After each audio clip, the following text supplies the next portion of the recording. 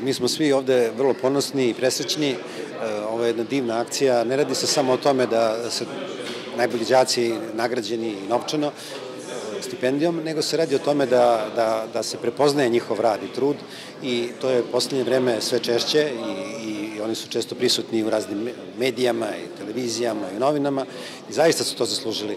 Mislim da treba isticati pozitivne primere, a ne kada se nešto loše desi u nekoj školi. Ovo su deca sjajna, talentovana, vredna, ambiciozna, znaju što žele, e, veoma mnogo rade i zaista su zaslužili i nagradu i svaku vrstu priznanja. Ja sam zahvalan Narodnoj Preuz banci i svim ostalim kompanijama koje nam pomažu. Naše ambicije su velike, naša škola je sad i u svetu poznata, naše đake pozivaju za brojnih e, mesta, ne učestvuju na takmičenju nekim često vrlo udaljenim destinacijama.